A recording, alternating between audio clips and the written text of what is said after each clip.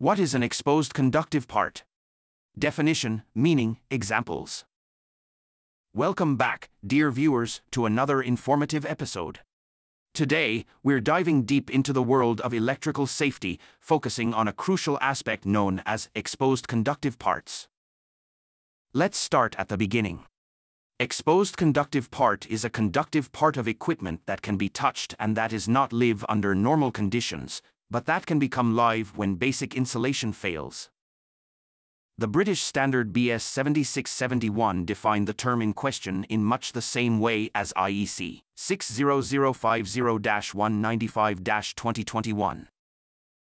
Exposed conductive part, conductive part of equipment which can be touched and which is not normally live, but which can become live under fault conditions. The term exposed conductive part refers to those conductive parts of electrical equipment which are accessible to the touch and which, unlike live parts, are not under voltage in normal conditions when all means of protection are intact, including the basic insulation. A person in a building has numerous contacts with exposed conductive parts during which he or she is not exposed to the risk of electric shock. In a single fault condition, when the basic insulation of a hazardous live part is damaged, an exposed conductive part may become voltage. It will then pose a real danger to a person who touches an exposed conductive part and could receive a dangerous electric shock. Examples of exposed conductive parts as an example, exposed conductive parts primarily include metal enclosures and touchable fittings of Class 0 and Class I equipment, such as the metal housings of refrigerators, washing machines, electric stoves, metal fittings of fixtures, etc. Exposed conductive parts are separated from live parts by means of basic insulation. Therefore, exposed conductive parts are parts of Class 0 and Class I electrical equipment, e.g. their metal sheaths the accessible conductive parts of Class II electrical equipment, such as their metal sheaths, are separated from the live parts by double insulation, which is the combination of basic and supplementary insulation or the equivalent reinforced insulation. In the event of damage to the basic insulation or partial damage to the reinforced insulation of live parts, the accessible conductive parts of Class II electrical equipment are not live and therefore do not present a danger to humans. They are therefore not exposed conductive parts. IEC Standard 61140, which classifies low-voltage electrical equipment in terms of protection against electric shock and lays down the fundamental requirements for electrical equipment of classes 0, 1, 2, 3, refers to the conductive parts in question as accessible conductive parts of Class 2 electrical equipment. The accessible conductive parts of Class 3 electrical equipment, which are their metal sheaths, must not be regarded as exposed conductive parts either.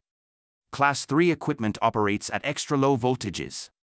Its live parts are not hazardous live parts and cannot cause a dangerous electric shock. The insulation of the live parts of Class 3 electrical equipment is not basic insulation because basic insulation is the insulation of the hazardous live parts. Therefore, the metal sheaths of Class 3 electrical equipment cannot be exposed conductive parts. What is a conductive part?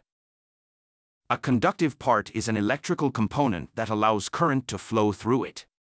Current is the flow of electrons, and it is what powers electronic devices. Conductive parts are made of materials that allow electrons to flow freely, such as metal. Conductive parts are essential to the functioning of any electronic device. They help to create circuits, which are pathways for current to flow. Without conductive parts, electronic devices would not be able to operate. Conductive parts come in a variety of shapes and sizes, and they can be found in almost any type of electronic device. The most common type of conductive part is the wire. Wires are used to connect different components together and create circuits. Is a water pipe an exposed conductive part? Some people believe that water pipes are exposed conductive parts, but this is not the case. Water pipes are not considered to be exposed conductive parts because they are not intended to carry an electrical current. Additionally, water pipes are not generally made of conductive materials. If a water pipe were to come into contact with an exposed conductive part, it would not create an electrical hazard. Do exposed conductive parts need bonding? It's a common misconception that all exposed conductive parts, ECPs, in electrical equipment need to be bonded.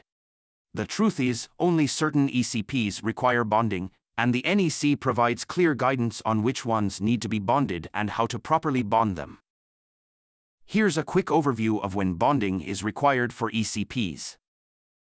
1. All ECPs that are part of the electrical circuit and are intended to come into contact with humans or animals must be bonded. This includes any ECPs that could become energized due to a fault in the equipment or system.